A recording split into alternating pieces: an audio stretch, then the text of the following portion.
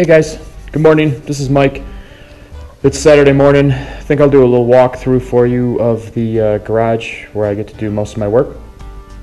So, what we're looking at here is uh, I've got a three car garage. On this side over here is where we park our cars. On this side over here is where I do my work.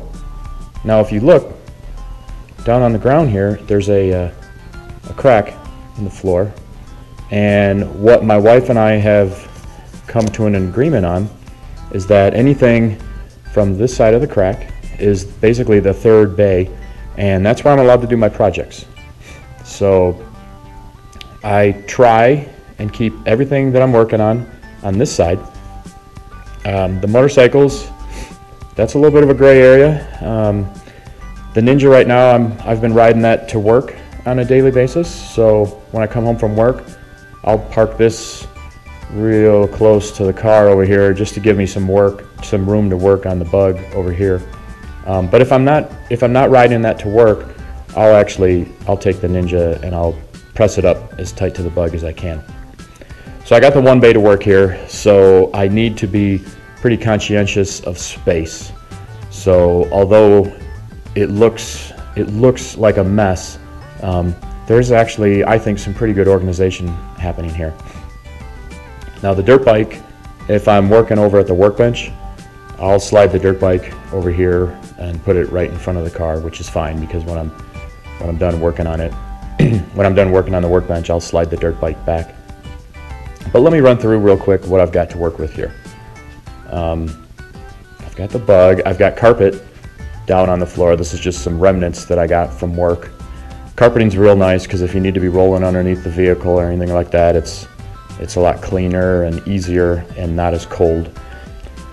Uh, right here I've got a Lincoln Electric 110 volt flux core or MIG welder. I use that I use that a lot.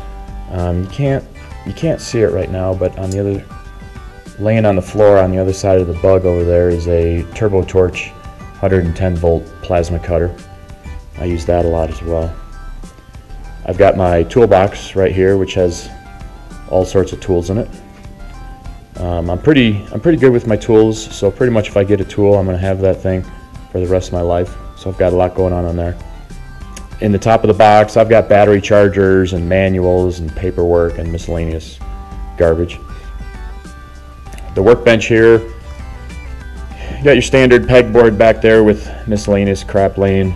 On the top here, I've got a piece of eighth inch steel uh, which makes it real nice for working on things, especially if I'm TIG welding. I can use this kind of like a welding table. Uh, underneath the bug right now, I've got my tubing bender. It doesn't usually reside here, but this is where it is right now. That's my uh, tubing bender. It usually it usually gets stored underneath the workbench here. Although since I'm working on the A-arm front suspension right now, I'm hiding the front wheels for the bug where that goes. And since the bug is up on jack stands and I'm not rolling it out right now, just for space, I've been pushing the uh, tubing bender underneath the bug, but normally the tubing bender goes underneath the workbench. If you look up top, I've got some shelving units. There's an empty space right up here on the shelves. That's where if I'm not using my MIG welder or the plasma cutter, that's where they get stored. That keeps them up and out of the way. Up there I've got my Craftsman air compressor. I had to mount that up high for, for space reasons, obviously. And then I've got a separate regulator down here and then 100 feet of hose so I can run this hose. I can work on anything in the garage here or I can run it out to the front lawn or I can run it around to the backyard. I've got I've got multiple options with that.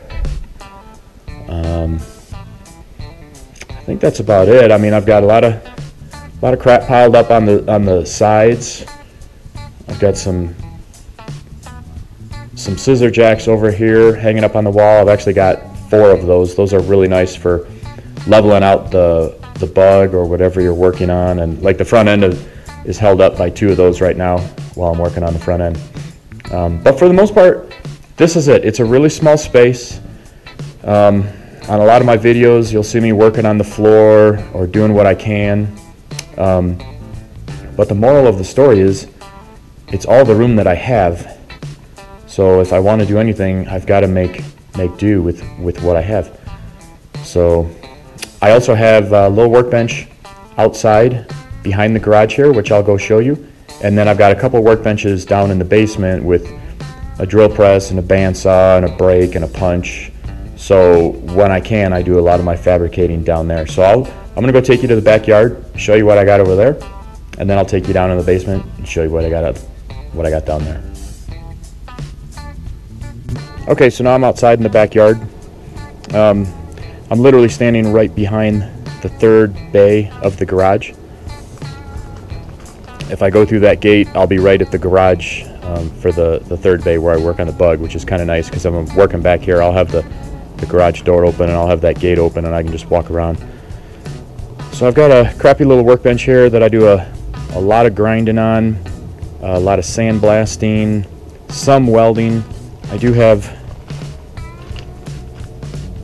that right there is a 110 volt outlet so if I'm doing some some lighter welding I can come out here and do that which is nice because then I can do it over the rocks because I try not to do any actual welding in the garage. I'll do some tacking I'll do some welding if I need to but I try and do most of the welding on the driveway or out here just to keep it cleaner in the garage. I've got a garbage can here that I really just use for uh, like a stand when I'm spray painting things. I've got some Volkswagen parts there. Underneath that five gallon bucket is my sandblaster. And then uh, that little hole in the wall right there is where I can run my compressed air hose from the air compressor out here so that I can do my sandblasting. I do almost all my sandblasting out here because that makes such a mess. I've done a little bit of sandblasting on the driveway, but oh my gosh, cleaning that up. It's it's important when you're trying to work with such a limited space to keep the mess to a minimum for the neighbors and for your wife. So I really try and do my sandblasting back here because out here, if the if the sand falls into the rocks, I mean, I, I don't care. It's that's fine. And in this neighborhood, these houses are really close together, so I try and keep my uh, my mess and dirt down to a minimum. So this is the outside area. I'll do what I can out here. It's nice in the winter out here because the sun really shines, so it'll, it'll be significantly warmer back here than it is out on the driveway. So sometimes I'll work back here just for that reason. But this is it. So now I'll take you down to the basement and show you what I got there. Alright, so now I'm down in the basement. It's not a very big house, so it's not a very big basement, but um, I need the space because I can't I can't work out in the garage every day, all day. So sometimes I do what I can down here because uh, it's nice down here. Uh, what you're looking at right now is a shelf with some of my radio controlled cars on it. Got nothing to do with the bug. Over here is one workbench I have that I made that's got a sink in the middle of it, which is really nice. Little table back there just for crap. I've got my 3D printer. And over here I've got my other workbench. On this workbench I've got a lot of my measuring tools. So I'll do a lot of uh, little fabrication like making shock mounts and things like that. I'll measure those all out here and clean them up and I'll actually do quite a bit of work right here. I uh, put the engine together for the bug right here. I Got a little TV up there where I can watch or listen to some DVDs as I'm working. It's it's, it's pretty nice when I when I can get something down here and, and work on it. I, I do because it's it's very pleasant working down here. So I've got that workbench. I've got this table, which is more of a catch-all. Um, this workbench slash cleaning area, I, I, don't do a lot of actual working here. I more stage things and things like that, and then do more of the assembly in the building over there. And then if I come to the other side here, over here I've got a, a, a small pretty light duty handbrake, although it's really good for doing like 05 volt aluminum for body panels and whatnot. So it's pretty handy for that.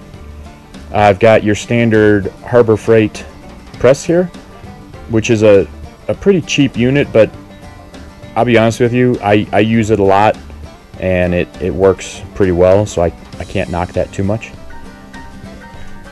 This is my Craftsman drill press. I've had this thing uh, since high school and I've used it a ton. It's getting pretty beat up. I might need to replace it at some point, but uh, I do I do so much drilling with that. It's not even funny. On this table over here, I've got two mills. That's a mill. That's a mill. That's a lathe, a little tiny lathe. These are all little hobby machinist pieces of equipment that I really use for the radio controlled car stuff. Um, but I have I have used it a little bit on the bug. If I have a small part that I need to work on for the bug, especially if it's made out of aluminum, I'll use these for it. Um, so you might see me using these occasionally, but for the most part, this is for my radio controlled hobbies. I've got a, uh, a grinder there that I got handed down from my dad. It might be older than me. I use that quite a bit. I've got my bandsaw here, which I use a ton. That's pretty old as well. I can't even can't even imagine how much metal that thing's cut. I've got a, a shelf over here, which is really just a catch-all for pieces of metal as I'm band bandsawing. Uh, more crap. A tote that's got some cleaning agents in it, I think. Some scrap metal, some Volkswagen bug doors. Here's a hand hand operated uh, shear. This is pretty nice for cutting thinner gauge metal if it's a, a smaller piece. Here I've got my punch. Um, this is one of the greatest tools I own. You'll see this in numerous videos and the accuracy that this thing can do with for holes and the speed that it can do them with is unbelievable. So whenever I can, I use this to punch the holes. If I need, to, if I'm making some odd sized holes, a lot of times what I'll do is I'll mark out and punch the holes with the hole punch and then move over to the drill press, make the holes bigger to the size that I need with the drill press, but that way I get the pilot holes with the accuracy of the hole punch. And then the, the workbench that these things are on is a, is a nice quarter inch plate workbench, so it's, it's real sturdy. And then I've got a, uh, a little vise there. Uh, that's about it. So when you see some videos with me working in the basement, um, it's probably right about here where I'm doing that work.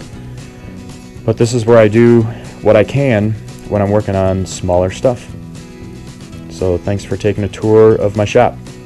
Talk to you later.